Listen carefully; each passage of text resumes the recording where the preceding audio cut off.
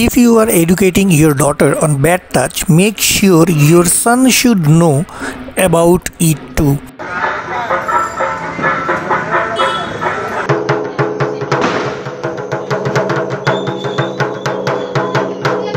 डुमनुमा की सबसे पुरानी काली मंदिर यानी ओल्डेस्ट काली पूजा है ये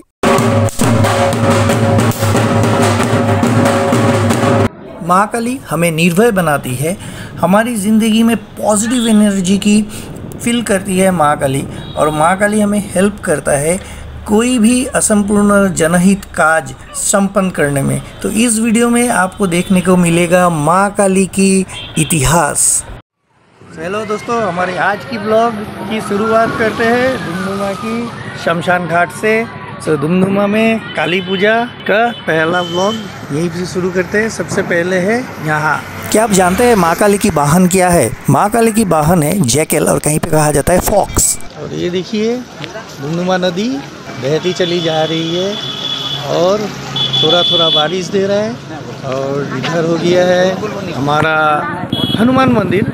और हनुमान मंदिर और इधर से देखिए ये है धुमधुमा की शमशान घाट। और देखिए कितना प्यारा सा लग रहा है बहुत ही सुंदर लग रहा है यहाँ पे। चलिए शमशान घाट पे चलते हैं। शुंभ और निशुंभ बलकर दो भाई कठोर तपस्या कर कर ब्रह्मा जी को संतुष्ट किया था। और यहाँ पहुँचते ही थोड़ा थोड़ा बारिश होना चालू हो गया है। और यहाँ पे देखिए किस तरह से सजाया है। और आप सुने होंगे चंड मुंड बधे देवी रक्त बीज विनाशिनी। चलिए अंदर चलते हैं। पिछला बार की ब्लॉग भी अगर आप देखा होगा तो हम लोग शमशान घाट को कवर किया था। इस बार भी कवर कर रहे हैं। थोड़ा देर पहले जैसे मैंने कहा था, शुंभ और निशिंभ दो असुर प्रचंड तपस्या कर कर ब्रह्मा जी को संतुष्ट कर कर वरदान लिया था कि उन्हें कोई मार नहीं सकता, सिवाय औरत। और उसी के आधार पर उन्होंने देवताओं को स्वर्ग से वंचित कर दिया और तीनों लोगों पे शुंभ और निशुंभ ने अपना रोख जमाया, यानी तीनों लोगों को अपना काबू में कर लिया। चंड मुंड बोलकर दो असुर देवी दुर्गा को देखा और देवी दुर्गा को देखकर देवी दुर्गा के रूप में मोहित होकर उन लोगों ने शुंभ और निशुंभ की राजसभा में जाकर दुर्गा की, माँ दुर्गा की जो सौंदर्यता है उसका व्याख्यान किया। इसके बाद शुंभ निशुंभ ने चंडमुंड को भेजा कि दुर्गा को यहाँ पर लेके आने के लिए, यानी उनके राजसभा में जबरन उठाकर लेकर आने के लिए।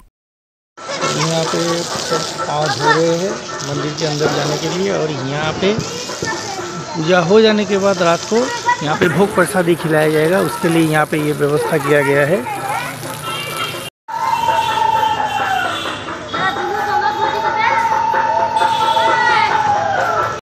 तो हम लोग अभी निकल चुके हैं शमशान घाट से और अभी सीधा आगे चल रहे हैं।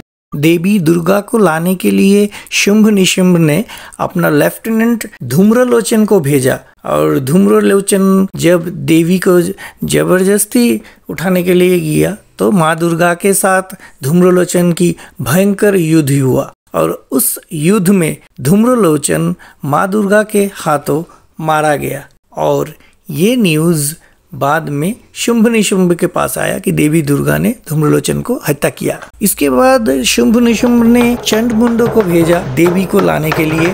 चंड मुंड के साथ जब देवी की भीषण युद्ध हो रहे थे तो चंड मुंड में से एक भाई ने पीछे से वार की, वार किया, जो कि युद्ध के खिलाफ था।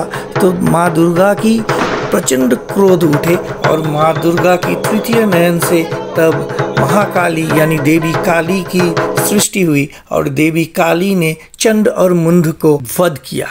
दोस्तों, अभी हम लोग आकर पहुँचे हैं रामकृष्ण सेवाश्रम दुमदुमा में। और रामकृष्ण सेवाश्रम दुमदुमा को देखिए, किस सुंदर तरीके से यहाँ पे सजाया गया है। चारों तरफ़ में हरियाली है और पेड़ों के बीचों बीच वहाँ पे लाइटिंग किया गया है। और अंदर का जो एक माहौल है, बहुत ही सुंदर तरीके से सुसज्जित किया है। और माँ की रूप देखिए, कितना सुंदर है यहाँ पे। तो जय माँ काली।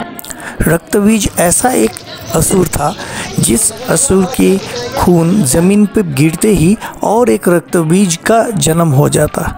तो अभी बात करते करते हम लोग आ पहुँचे हैं ऊँचामाटी कालीबारी में। तो चलिए ऊँचामाटी कालीबारी के अंदर चलते हैं और हाथों हाथ सुनिए रक्त बीज की कहानी। जैसे कि मैंने कहा था कि रक्त बीज के खून ज़मीन पे गिरते ही और एक रक्त बीज का जन्म हो जाता। तो इसी वजह से रक्त बीज को मारना लगभग नामुमकिन था और रक्त बीज को भेजा था शुंभ निशुंभ ने माँ दुर्गा को लाने के लिए। माँ दुर्गा के साथ रक्त बीज की युद्ध हो रहा था और रक्त गिरते ही और लाखों के तादाद पर रक्त बीज असुर की जन्म हो रहा था।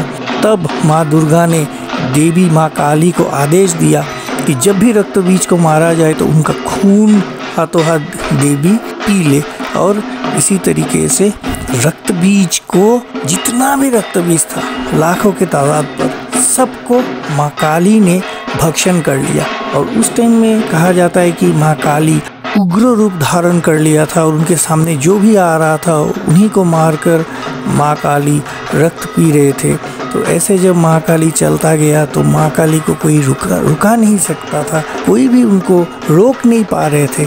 उसी टाइम में सारे देवता ने महादेव की स्मरण में आया और महादेव की जब स्मरण में आया तो महादेव ने भी माँ काली को पहले रोकने का कोशिश किया, लेकिन रोक नहीं पाया।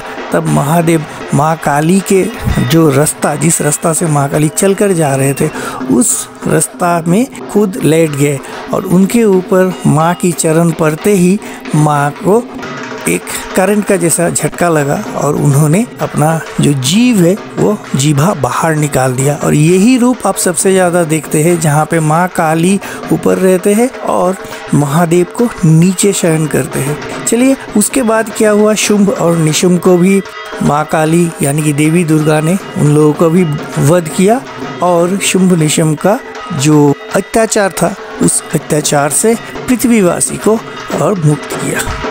If you are educating your daughter on bad touch, make sure your son should know about it too. ये बहुत ही इम्पोर्टेंट मैसेज सभी के लिए है। सो ये एक बहुत ही इम्पोर्टेंट मैसेज है। सो दोस्तों आज की वीडियो को करते हैं समाप्त यहीं पे मिलते हैं अगला वीडियो में। तब तक के लिए जय हिंद वंदे मातरम भारत माता की जय और जय माँ काली।